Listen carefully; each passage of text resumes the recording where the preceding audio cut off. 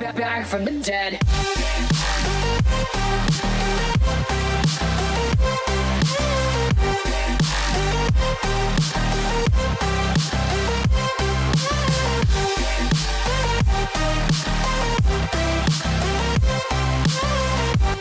What's going guys, it's Kashif and today I will show you how to install MIUI 8 on any Xiaomi device without computer.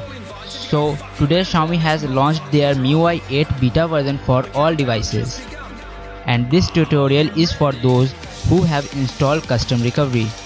At this moment I have Xiaomi Redmi 1S and I have installed TeamWin Recovery project. Note, this is China developer ROM so in this ROM you will not get Google Play services or Google Play Store. Anyway, so let's see how to do it. First of all download the MIUI 8.zip file for your device from the link down below in the description.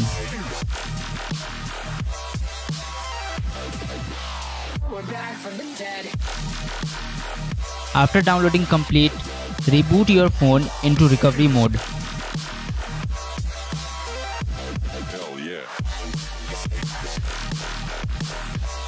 After booting into the TWRP mode, just wipe all the data.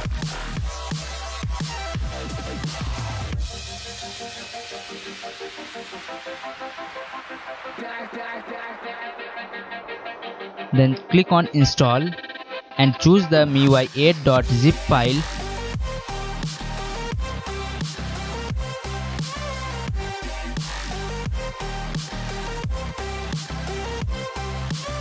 and swipe to confirm to flash.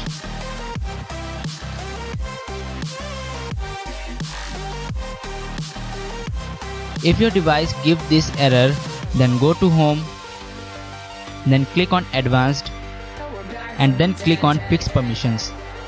Swipe it to fix the permissions. Then go back and try to install MIUI 8 again.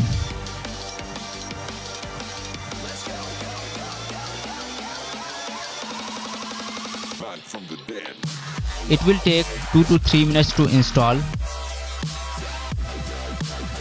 After flashing complete, click on reboot system. Click on do not install.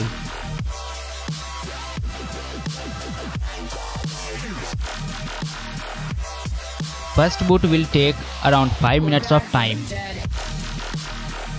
Now we have get into the welcome screen page of MIUI 8.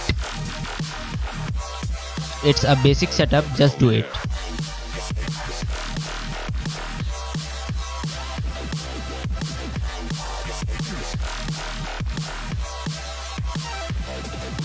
Congratulations, we have installed MIUI 8 on Redmi 1S.